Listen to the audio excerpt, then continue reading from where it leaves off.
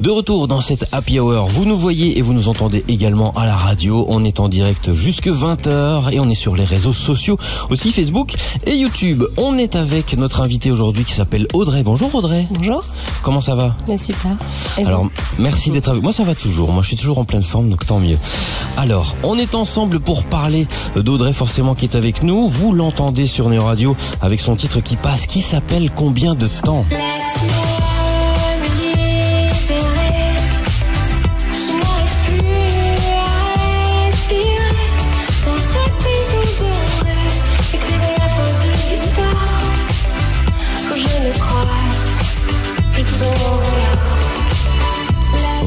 Qui est avec nous, qui va chanter un de ses titres également de son EP, mais on va parler d'elle tout de suite euh, sur Néo Radio. Tu as écrit tes premiers textes à l'âge de 12 ans. Exactement. T'as commencé tôt, dis donc. Ouais, j'écrivais beaucoup de poèmes euh, à l'époque, j'aimais bien ça. Et euh, puis j'ai pris goût et, euh, avec le temps, euh, bah, mes textes sont devenus des chansons. Qu'est-ce qui a été le déclic pour toi d'écrire tes propres textes dès l'âge de 12 ans? Parce que c'est pas tout le monde, justement.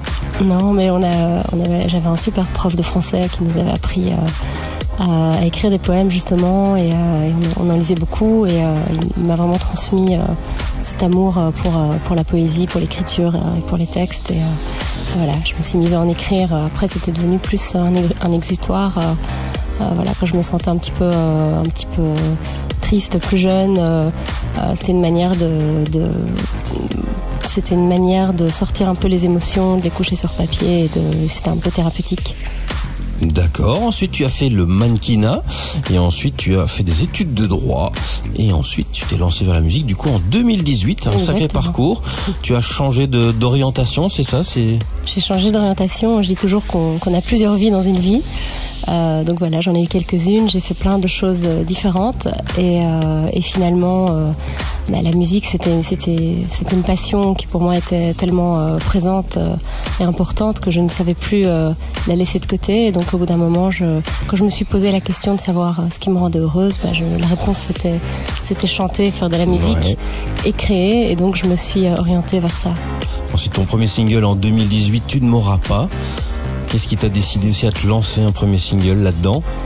C'était un texte que j'avais écrit Ouais. euh, quelques années auparavant déjà. Donc j'avais déjà quelques textes de près et, euh, et en fait j'avais enregi- enregistré tout un album, mais je n'ai sorti euh, à, ce- à cette époque-là, je n'en ai sorti qu'une. D'accord. Euh, voilà. Et puis après j'ai j'ai un petit peu euh, euh, réadapté ma musique, réactualisé. euh, on a un, peu- un peu changé de direction artistique, Mhm. on va dire.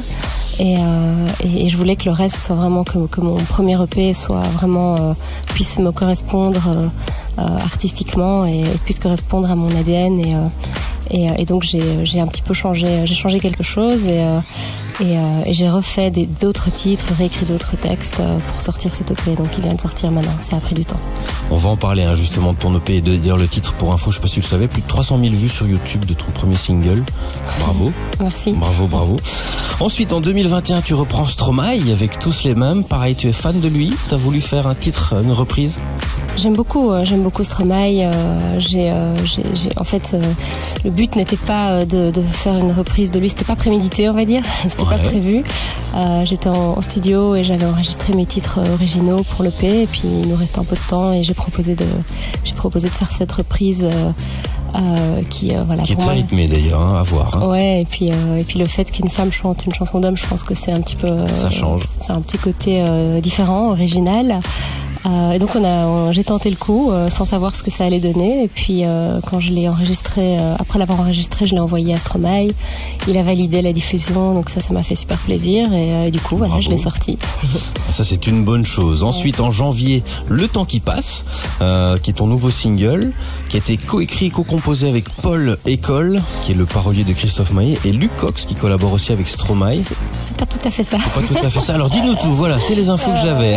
ouais, presque, presque. C'est euh, donc c'est les bonnes infos, mais pas sur les bons morceaux. D'accord. En gros, euh, le temps qui passe, c'est euh, donc ça j'ai écrit le texte. En fait, j'ai écrit euh, tous mes textes. Donc dans ce EP, il y a quatre titres euh, originaux.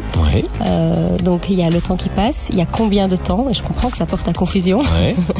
Euh, combien de temps j'ai co-composé avec euh, le compositeur Luc Cox, qui lui a composé pour Stromae, pour Loïc Notet, Alice on the Roof euh, et tout ça. Et, euh, et, et le temps qui passe, euh, j'ai écrit le texte, euh, enfin d'ailleurs combien de temps aussi, j'ai Ouais. écrit les, les deux textes. Euh, le temps qui passe, c'est un autre titre euh, avec un beat un peu plus urbain Oui. euh, qui se différencie. Donc c'est toujours de la pop, mais avec un beat urbain, donc c'est un petit peu différent des autres titres. Et, euh, et puis là où j'ai collaboré avec Paul École, pour revenir à ce que Ouais. tu disais, euh, c'était sur le titre Mon destin que je vais chanter tout à l'heure, où, euh, où, il m'a, où on a coécrit le texte, ce texte-là. Et en effet, Paul École euh, est le parolier de Calogero, de, de, de, Christophe Maé, de, pas mal de gens qu'on, connaît. Ouais. D'accord. Alors petite question, tu es fan de Retour vers le futur? Pourquoi Parce que ça parle du temps qui passe, voilà, ça parle du temps, etc. Donc pourquoi justement Explique-nous tout ça. Ouais, le, le temps qui passe est un, est un sujet qui me préoccupe beaucoup Ouais. depuis longtemps, c'est vrai. Euh, c'est- c'était, ça a été euh, longtemps une source d'angoisse euh, et donc j'ai, tenté d'y remédier. Donc d'une part en, en écrivant, d'autre part en trouvant des solutions. Donc ça a été libérateur d'écrire là-dessus de ouais. parler du temps qui passe. Ça a été libérateur parce que parce que voilà, je me suis dit bah oui, le temps passe. Donc quand on en prend conscience, on se dit que voilà, maintenant il faut faire ce qu'on aime, il faut faire ce qu'il faut euh, pour ne pas regretter par après. Et, euh, et c'est maintenant ou jamais. Il faut faut faire les choses. Faut pas attendre que ça passe et qu'il soit trop tard. Et et, euh, et donc voilà. Donc c'était c'est- un sujet qui me préoccupait, mais on a on a remédié euh, au, au problème entre guillemets. Et, et combien de temps ça passe euh, ça, ça, ça parle pas exactement de la même chose. Euh, ça, ça parle plutôt de, de voilà combien de temps on va rester coincé dans une situation ou, euh, ou combien de temps peut durer euh, euh, une relation avec une avec une personne. Ou, et, et, et ça c'est voilà c'est aussi c'est aussi très libérateur. L'écriture a été très très positive aussi pour moi parce que voilà c'était ça parlait donc d'un- d'une situation de laquelle j'étais un peu coincée et au final on voit dans le clip d'ailleurs que j'arrive à, à m'en sortir à la fin je, je suis coincée dans un cube de verre et j'arrive à en sortir il faut regarder le clip jusqu'au bout Ouais, c'est ouais. la fin qui est intéressante tu fais un spoiler là du coup. ah mince pardon Comment se passe ton processus de composition chez toi tu, tu te mets euh, dans quelle ambiance pour écrire, pour composer, pour faire ta musique mais j'écris d'abord les textes. Euh, j'ai besoin d'avoir mes textes que je que je peaufine. Euh, ça me prend ça me prend pas mal de temps ça. Et puis euh, après ça, je vais en studio euh, avec des compositeurs euh, et des, des- qui sont euh, aussi des, des musiciens euh, ou des compositeurs et des Ouais. musiciens. Mais là, pour le moment, j'ai une, une super équipe, donc euh, je veux dire, on, on change pas une équipe qui gagne. Exactement. voilà, donc je travaille euh, aussi avec Clément et Valentin Aubert qui sont super. Ils font toute la prod de mon, de mon, ils ont fait la prod de mon EP et là on travaille ensemble sur l'album. Et donc le processus de création, pour répondre à ta question, donc on se met en studio, euh, on co-compose ensemble, euh, donc euh, donc on décide euh, voilà quel beat on veut on veut mettre, euh, quel enfin quel tempo, quel euh, on fait la, la ligne de chant. Euh, euh, les arrangements, quel instrument on veut mettre, quel, quel son on veut entendre, quel son on veut écouter. Et quand on est, euh, quand on est satisfait, ben on, on mixe. Donc c'est vraiment un travail d'équipe pour toi parce que tu dis on, on, on, c'est pas toi la, la patronne, on va dire, qui dit non, je veux telle chose. On travaille en équipe, ouais, ouais, on travaille en équipe. Autant les textes, je, je suis, voilà, je- de temps en temps, quand j'ai besoin, je me fais aider. Et je trouve que c'est bien de pouvoir améliorer euh, par, Ouais. des, par des gens qui le font euh, aussi bien, si pas mieux. Euh, autant dans la dans la dans la composition, moi je fais surtout euh, je fais surtout euh, je fais surtout la top line, donc la, la ligne de chant, Ouais. la mélodie chantée. Euh, mais au niveau de, des arrangements et tout ça, je, je suis en studio, je suis impliquée dans impliquée dans tout le process dans tout le process et je et je, je, je, je dirige un petit peu ce que là où je veux que ça aille. Les directions, je donne un peu les directions. Euh, mais oui, c'est un c'est un grand travail d'équipe euh, et chacun et chacun amène un petit quelque chose, donc on, on fait ça ensemble. Un beau travail. Quelles sont tes inspirations? Il y a des artistes en particulier que tu aimes qui t'aident dans ta composition personnelle? Oui, j'aime. euh, j'ai beaucoup écouté euh, tout ce qui était euh, chansons pop euh, avec des textes. J'aime beaucoup les chansons à texte. Mhm. Donc j'ai beaucoup écouté tout ce qui était Michel Berger, Jean-Jacques Goldman, Zazie, tout, tout ce qui est chansons à texte, un petit peu avec des jeux de mots, tout ça. Même MC Solar, à l'époque j'aimais bien. Et maintenant j'écoute plus euh, du Benjamin Biolay, du Clara Luciani, euh, qui sont qui restent des chansons à texte, mais toujours avec un côté pop. euh. J'écoute aussi de la pop en anglais, mais donc du coup je- sur mes chansons je fais un mélange de, de, de chansons, enfin de pop anglaise avec Mhm. des textes en français. On va écouter ça tout de suite d'ailleurs avec le titre Mon destin en live maintenant sur Néo Radio. Restez avec nous.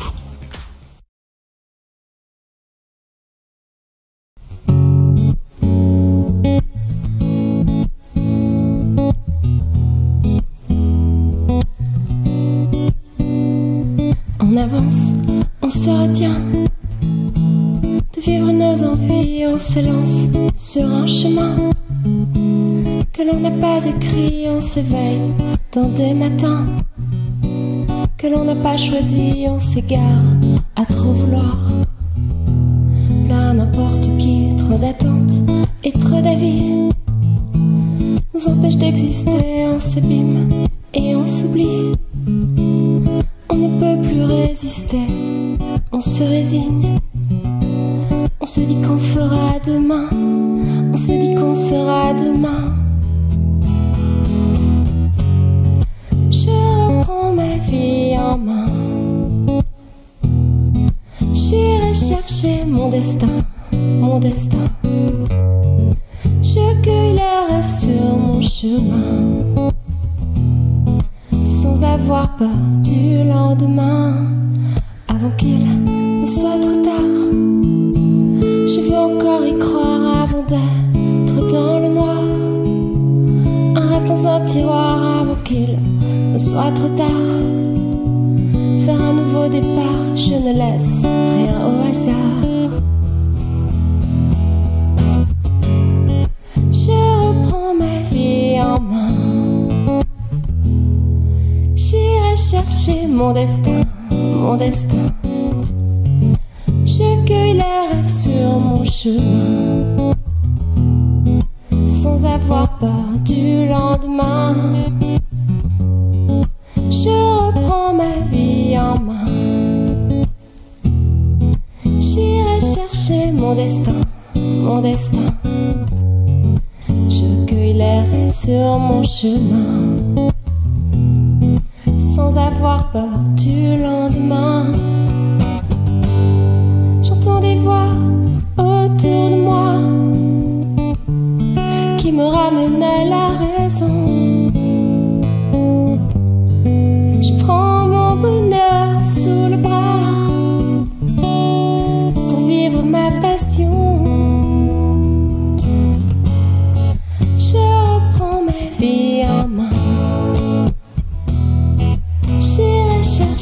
Destin, mon destin. Je cueille les rêves sur mon chemin.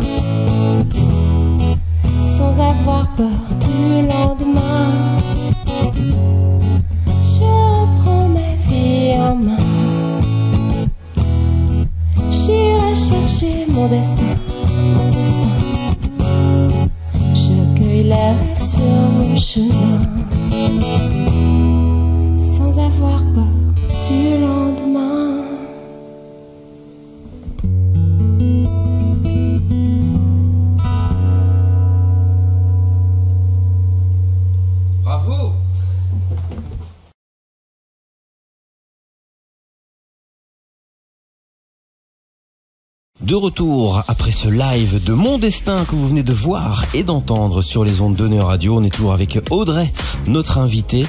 Ça va Audrey toujours? Bah, ça va toujours.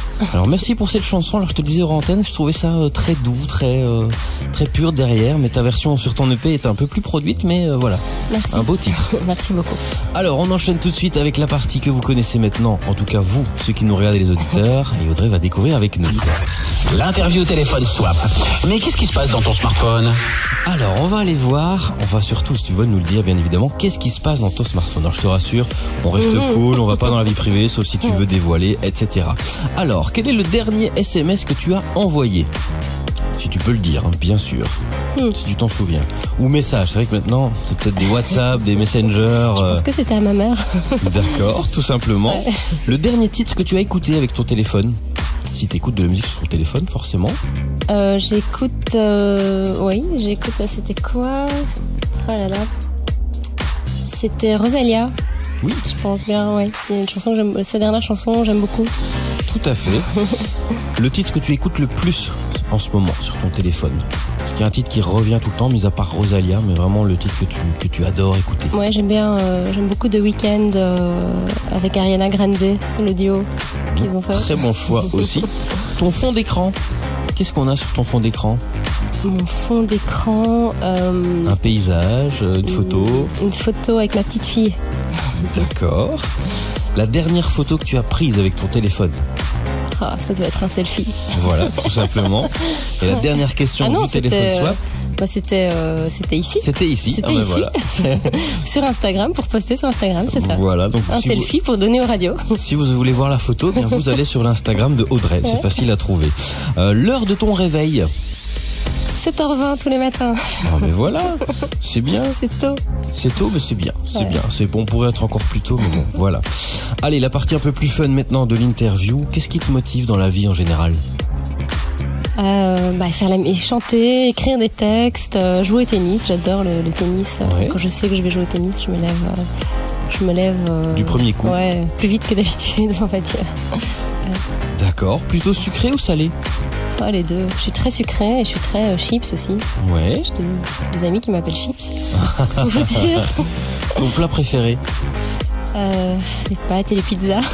D'accord. Les, di- les diététiciens vont me détester. Quel est ton instrument préféré J'adore le piano. Je, je me suis toujours dit que mon prochain mari sera pianiste, mais j'adore la guitare aussi quelque part. Mais euh, mais le piano, je trouve ça, euh, ouais, c'est apaisant. En plus d'être beau, c'est apaisant. J'aime beaucoup le piano. Film ou série Ah, ça dépend le temps que j'ai. Ouais. Si j'ai si plus de temps, un bon film, euh, c'est bien. Et les séries, j'aime bien parce que c'est un côté addictif. hein. Donc plutôt au cinéma ou alors chez toi aussi Chez moi, les deux. Ouais, cinéma parfois et chez moi beaucoup. ouais. D'accord. Thé ou café Ah, euh, café, café, j'en bois 3-4 par jour. pour, pour garder la forme. Non, j'aime bien, j'aime bien, j'aime bien le goût du café. J'adore, je me réveille avec, mon café. Si j'ai pas mon café, j'ai du mal à, à sortir de chez moi. D'accord. Et dernière question, réseaux sociaux ou contact humain?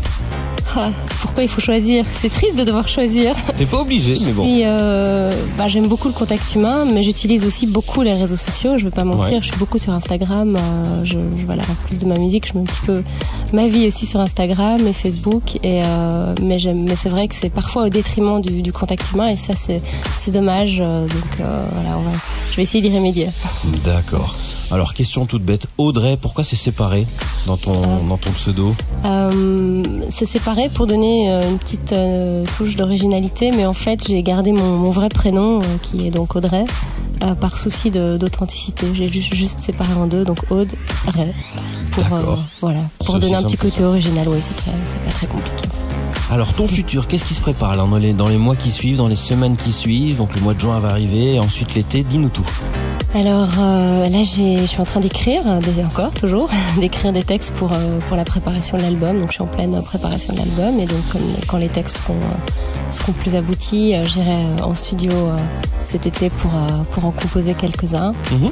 Et et voilà. Et puis et puis je bah, je prépare l'album. En fait, c'est ça mon mon grand objectif. Donc là, je viens de sortir Cette année et J'espère, j'espère. Ça dépend à quelle vitesse euh, j'écris et je et je et, et si on a des, des, des, des- s'il y a des bonnes choses qui en qui en sortent, euh, j'espère pour fin de cette année. J'espère. Des dates de concert peut-être à venir aussi, ou des petits showcases? Ouais, ça ça va se préparer aussi. euh, Ça va se préparer aussi. On suivra tout ça sur tes réseaux sociaux. Donc si vous voulez suivre Audrey, c'est facile, je viens de le dire, c'est en deux mots. Audrey, R-E-Y, pas avec un A, parce que ça existe aussi. Ouais. Euh, Audrey qui était avec nous, on va, on va mettre le lien ici en bas de, en bas de l'image. Merci Audrey. Mais merci à vous. Et on, on, on, bien sûr, on diffuse encore ton titre qui va passer sur nos radios et d'autres titres de ton EP. Super, merci beaucoup. À bientôt. À bientôt.